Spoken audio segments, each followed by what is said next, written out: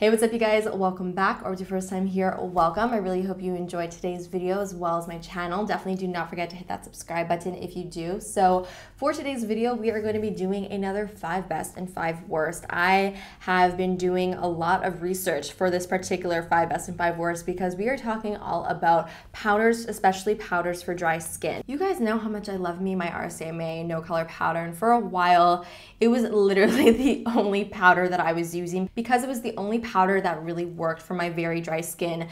I have had lots of powders that have just made me look like a really cakey, dry desert mess. And honestly, once you find that like one holy grail, it's really hard to try anything else. So I made it my mission to try out as many powders as I possibly could to find some really great ones for dry skin. And honestly, I found some really awesome ones. And of course, I also have five other powders that also really didn't work out for me. So I will be going through those as well. So I really hope that you guys enjoyed today's video and find it helpful. Definitely do not forget to let me know what your favorite powders are in the comments. Give this video a big thumbs up if you love the five best and five worst series. And of course, subscribe if you're not subscribed already. So without further ado, let's begin. As always, I like to start off on a positive note. So I'm gonna first start off with my five favorite powders. Now, I basically already mentioned this in the intro, so I'm just going to get it out of the way. And you guys know what I'm gonna say. It is the RCMA No Color Powder. Now, this was the powder that basically showed me that I could actually wear powder because for the longest time, I never set my makeup. I was convinced that every single powder out there would just accentuate all the dryness on my skin and would just make my skin look terrible. So this was the first powder, honestly, that I ever tried that truly made the biggest difference in the way that my skin looked when applying powder. This is just a powder with no frills. It comes in this really ugly packaging. It looks like a salt shaker. It is a no color powder, so you can apply this underneath your eyes to set your concealer and it's not going to lighten or darken your concealer. You could even use this to set like cream contour and it's not going to alter the color which is one of the main reasons why I really, really love this because it is so versatile and it can really be used throughout the whole entire face. And if you're into baking, this is a really great baking powder as well. Overall, it's just a powder that does what it needs to do. So that is why the RCMA powder is like right at the top of the list and it always will be has a special place in my heart. Another one of my favorite powders is actually more of a recent find and honestly I'm wondering why it took me so long to try this out. This is the Charlotte Tilbury Airbrush Flawless Finish Skin Perfecting Micro Powder. This powder is so beautiful and honestly I almost like it more than the RCMA powder which sort of blows my mind. Never thought I would ever say that. Now this powder obviously differs quite a bit from the RCMA no color powder because it is pressed and it also has a little bit of like a tint to it. Now Charlotte Tilbury does have a few other shades. This one is number one fair which is the lightest shade and the reason why I like this shade in particular is because I am able to actually use it not only to set my whole face but also to set my under eyes because even though this has a tint to it the tint isn't so strong that it doesn't make my under eyes look darker. Now there are two other reasons why I really love this product. Firstly, I really like that when I put it all over my face, it doesn't totally mattify my skin. It still allows some glow to show through, which is really important, especially for somebody who does have dry skin.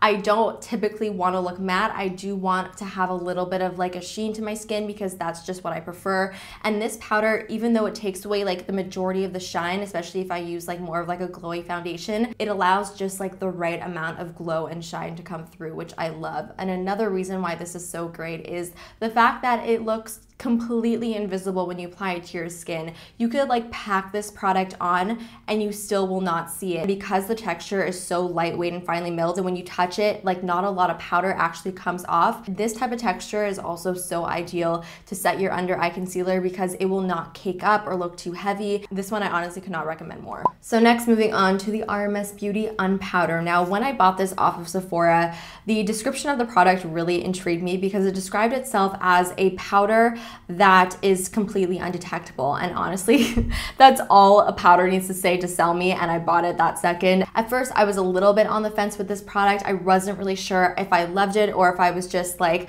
sort of meh about it. But honestly, the more that I use it, the more I really, really love it. Now, this is probably one of the most like finely milled loose powders I've ever tried. It's so strange because when you touch it, it almost like disappears in your hands. It, it, just totally absorbs so quickly. And because of that quality, just like the Charlotte Tilbury powder, I find that it looks almost completely invisible on the skin. And I also find that this powder specifically makes me look almost poreless. And I actually prefer to apply the product with the puff that comes with it. So what I do is I just shake out some of the product, I put the puff in the product, and then I almost like massage and roll the powder into my skin. And I find that it applies the best way like this.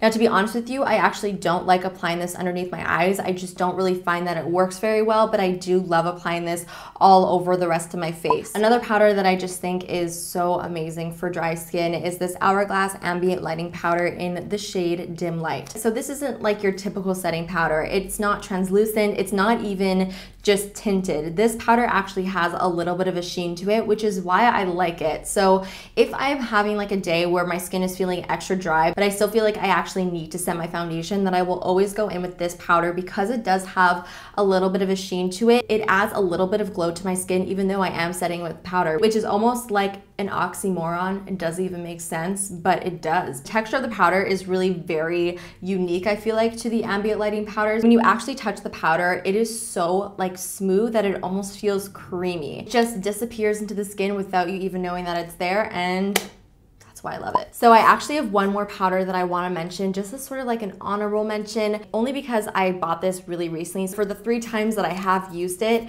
I've been really impressed, and it is the Bare Minerals Bare Pro Performance Wear Powder Foundation in Dawn 02. Now this is actually not even supposed to be like a setting powder. It's more so supposed to be like a pressed powder foundation, but I use it as a setting powder and it works so well. Even though I've only used this powder like three times, I've been so impressed with it because it has honestly just made my skin look even even better whenever I apply it. I find that this is another powder that really just makes my skin look so airbrushed and flawless and poreless. And it also is another powder that will um, set my makeup but not totally mattify me. And it looks so nice and natural on the skin. So yeah, that's the Bare Minerals Bare Pro powder. So now that we've spoken about all of my favorite powders, it's time for me to talk about all of my least favorite powders. I just wanna say that if I dislike a product that you love, that is totally okay because what works for me may not work for you and vice versa. So I just want you guys to take my opinion with a grain of salt. And these are products that basically just didn't work for my specific skin type.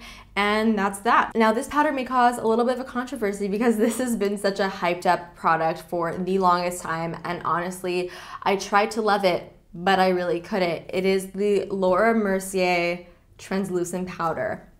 I know, I know, I can't even believe it either that I didn't like this because so many people were going crazy over this and I thought that I was crazy that I didn't like it. Now, the reason why I don't like this product is because it attached to all of my dry patches. It made my skin look so dry, look so cakey. I can never make it work. I tried to bake with it, I tried to set with it, I tried to set my under eyes with it. Really nothing worked with this powder for my skin. It just like rejected it and that's why I don't like it. Really not much else to say about it. It just made my skin really look horrible now, this next powder I actually had really, really high hopes for, and I was using it a ton, trying to make it work. This is the Kat Von D Lock It Setting Powder in Translucent, and it is the loose one.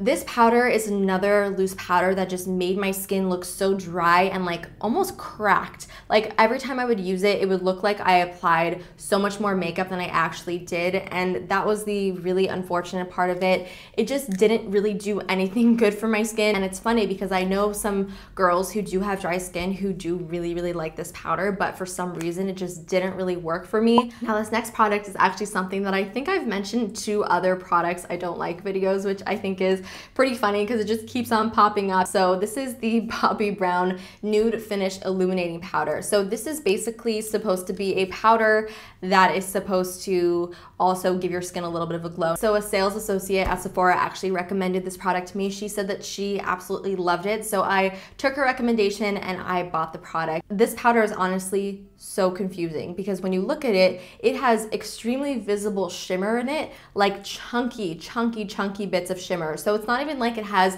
a sheen like the Hourglass powder that actually makes your skin have that really beautiful glow to it. No, no, no.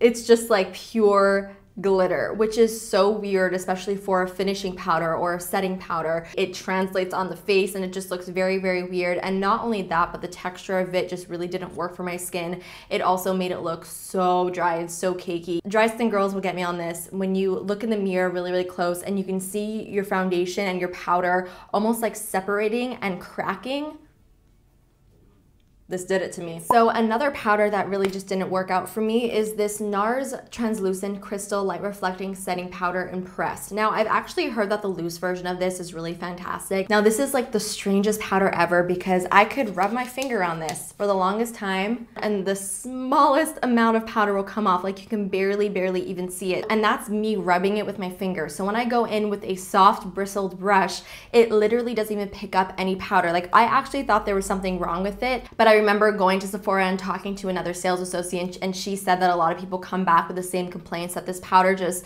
really doesn't release a lot of product onto like a brush, and that is really my main problem with this. So it's not even like it made my skin look crappy. It didn't even really have a chance to make my skin look like anything because I wasn't even able to get it on my face. So now we have made it to the end. This is the last of my least favorite setting powders. This is from Tarte and it is the Smooth Operator Amazonian Clay Tinted Pressed Finishing Powder in Light. Now, I bought this actually to test out before doing my best of Tarte video because I'd actually never tried this and really haven't heard too many people talk about it. So I was like, ooh, what if this product is gonna be like a hidden gem? This was just another powder that just looked terrible on my skin. Like it was another one of those products that totally broke up onto my skin and it looked like I had like mini craters of like foundation and powder all over my skin. It just made it look so textured. That's all I need to see for me to not like a powder and this really, really did that to me really badly. At first, I actually thought it was my primer that I used. So I took off all of my makeup, just used a moisturizer, not a primer, put on the foundation that I typically wear, and then again, I set it with this powder and it did the exact same thing so I know for sure that it was the powder that just made my skin look 15 years older. So that is it for all of my favorite powders and all of my least favorite powders for dry skin. I really hope that you guys enjoyed this video. Definitely let me know what you thought in the comments. Let me know some of your favorite powders, some powders that did not work out for you. Would love to hear all of your thoughts. Of course, give this video a big thumbs up if you enjoy best and worst videos and subscribe if you're not subscribed already and I will see you guys next time. Bye!